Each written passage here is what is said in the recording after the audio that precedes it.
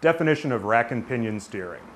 Rack and pinion steering is a specific form of steering mechanism that utilizes a steering gear that is mounted on the input shaft that ultimately attaches to the steering wheel.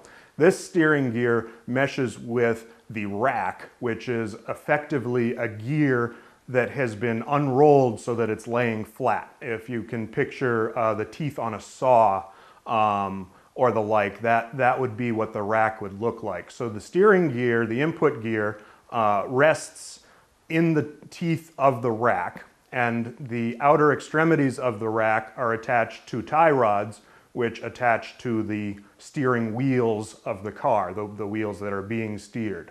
When the input gear turns, uh, it pushes the rack in one direction or the other, which there uh, conversely pushes on the tie rods, which actually steer the wheels back and forth. The um, rack and pinion steering setup is optimal for uh, front wheel drive vehicles because it is reasonably compact uh, and doesn't take up a lot of room.